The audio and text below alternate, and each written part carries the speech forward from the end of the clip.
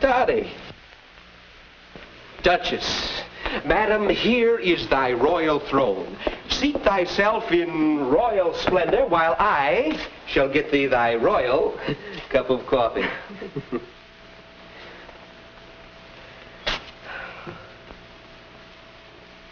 Mmm, tis creamed and sugared exactly to my taste. Thou shalt be my royal brewmaster for evening coffee from this day forward. From this day forward. To have and to hold. Oh, Pete, we're going to be so happy together.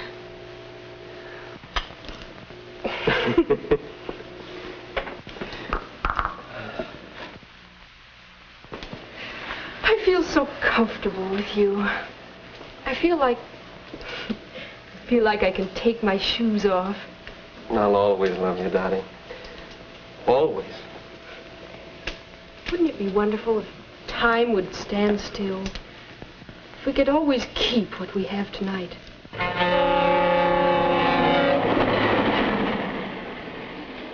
From the beginning, we were learning to live together and to love together, learning to adjust different sexual responses. But time doesn't stand still, and marriage is far more than loving together and enjoying companionship. It's making decisions together, and we had to learn to plan as partners. That first Monday morning, I was so proud of my man going out to earn a living for us. And Pete was so proud of me cooking our first married meal. Then, suddenly, it was time for Pete to go to work. He said he didn't want to go, but he was a responsible married man now. Well, when you marry, you have to adjust to many changes. And I, well, we had decided I should quit my job when we married. Maybe I should say quit my paycheck. I still had a job. As the weeks went by, sometimes I regretted that decision to quit my job. For one thing, I missed those paychecks. And staying home was hard. It was an adjustment I had to work out.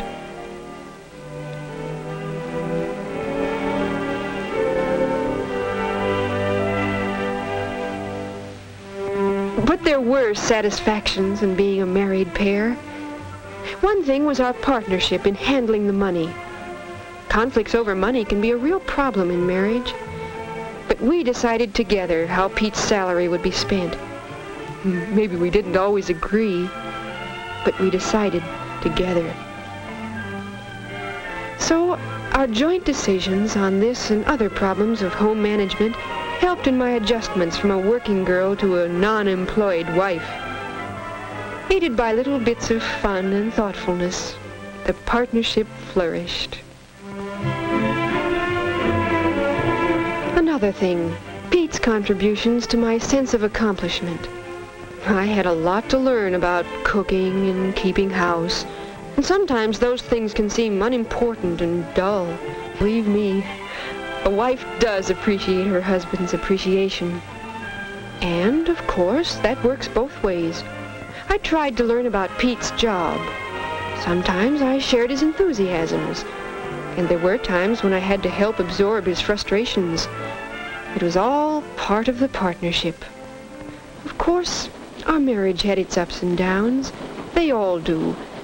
But I guess we had worked out pretty good adjustments on affections and our sex life decisions in our money matters. Adjusting to each other, adjusting to our marriage, sort of showed us how to face these problems. But on another potential source of trouble, in-laws, when we first planned to move into that two-family house, I thought of all those mother-in-law jokes.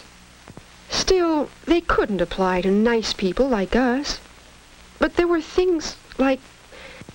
I was planning my first bridge luncheon. Honey, Jane can't come on Thursday. Wonder who I should get for a fourth. Hmm. Mother plays a good game of bridge. Yes, but... Maybe she wouldn't enjoy playing with a bunch of giddy girls. Oh, honey, she'd love it. She likes young people. Of course, I asked her. She insisted on bringing a fancy cake. It was delicious, everyone said. Helped make a good party. But it wasn't my party. Afterwards, Pete said he was glad I had asked her. Said she could have seen from upstairs that something was going on. Might have felt well, left out. How did I feel? As if we were living in a huge goldfish bowl. But I couldn't explain it to Pete. Oh, it wasn't all bad. Pete's mother and I had good times together. Shopping, for instance. I could learn a lot from her. Her experience in getting bargains. Her little tips on Pete's special likes and dislikes. But, well, one afternoon, Pete stopped in upstairs to deliver a package his mother had asked him to pick up.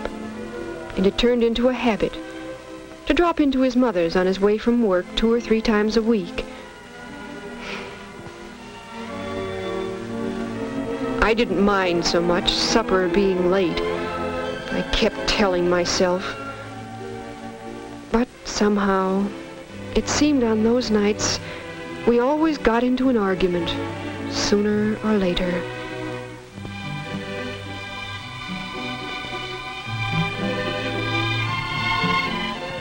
Tried to tell Pete how I felt, but it was no use. He'd just get sore and make some crack about my family. I thought my family was pretty wonderful. Why, Dad and I were real pals. We talked things over.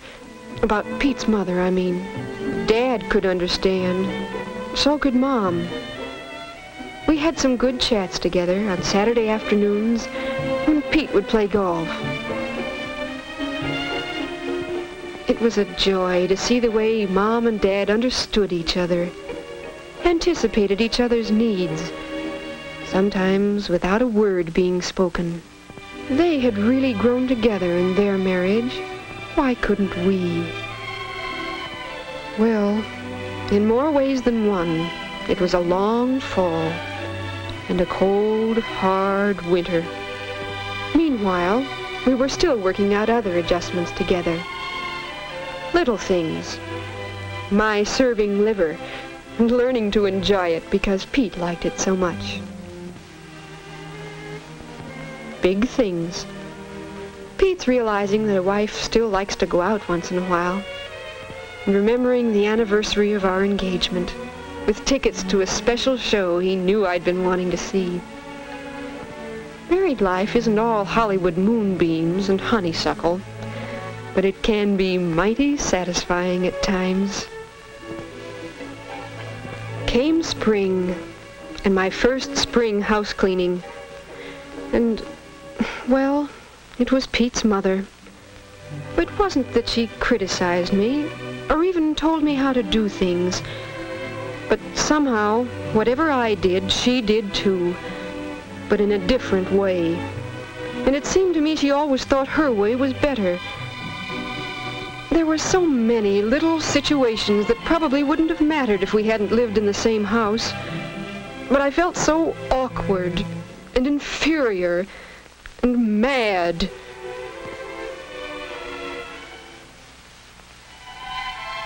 That evening, after supper, I thought the time seemed ripe to talk to Pete about us. But suddenly... Daddy, I, uh, I got a surprise in uh, today's mail. An offer of another job. Wonderful job.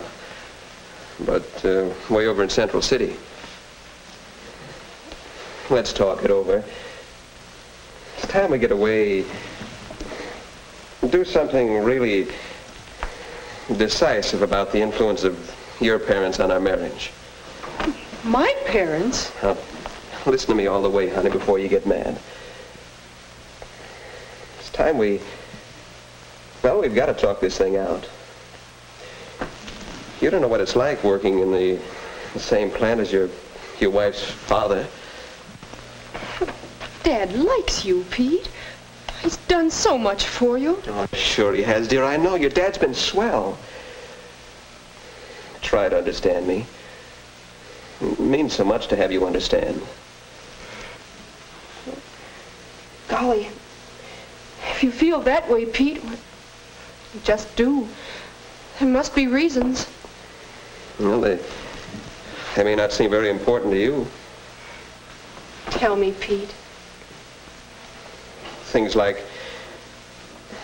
well, when I got that promotion in December, you said how grand it was of your dad to help. I mean, praising me to the boss and all.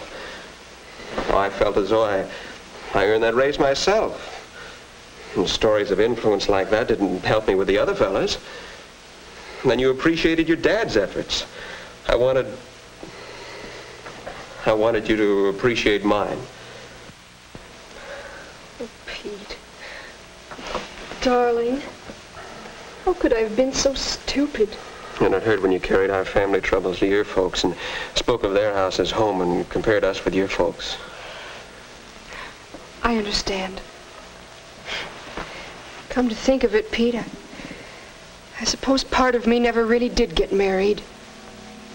How could I really build our marriage with part of me wanting them to approve everything I did?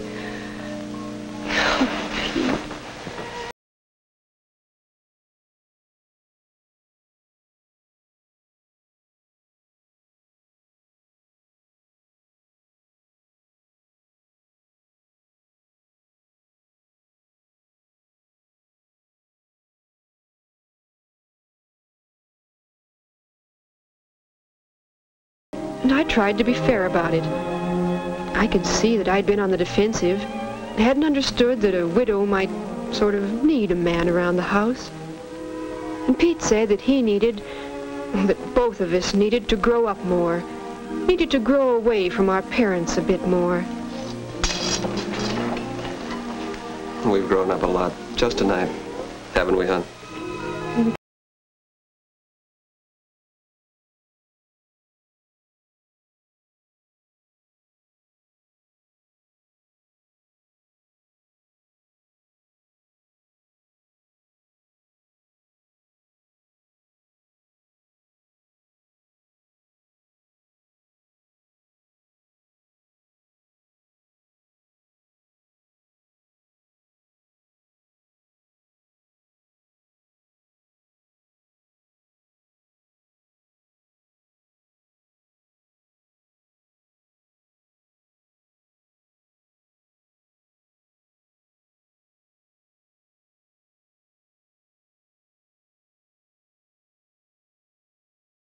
There'll be other problems ahead, bigger problems.